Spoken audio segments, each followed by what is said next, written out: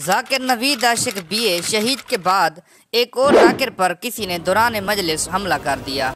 दौरान मजलिस किसी ने जूता मारा जो कि जाकिर साहब को जाके लगा, लेकिन किसी ने आवाज़ तक ना उठाई।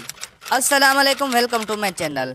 ये वाक़ 14 अक्टूबर 2022 का है। एक जगह पर जश्न हो रहा था और जश्न पाक लाइव नशर किया जा रहा था, जिसमें मुल्क के नामवर जाकरीन खिताब फरमा रहे थे।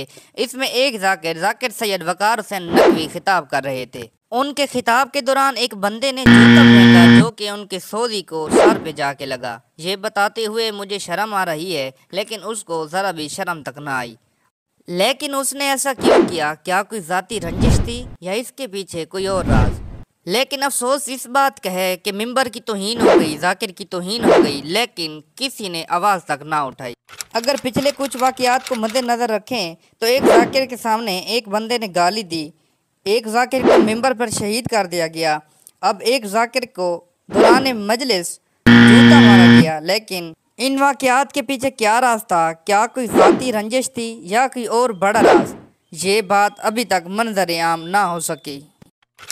आपका क्या ख्याल है इन वाक़ात के पीछे? क्या वजह हो सकती है? कमेंट करके ज़रूर बताइएगा। वीडियो की ज़्यादा से ज़्यादा शेयर कीजिएगा, पेज को फॉलो कर लो, ताकि मज़ीद अपडेट आपको सबसे पहले मिले।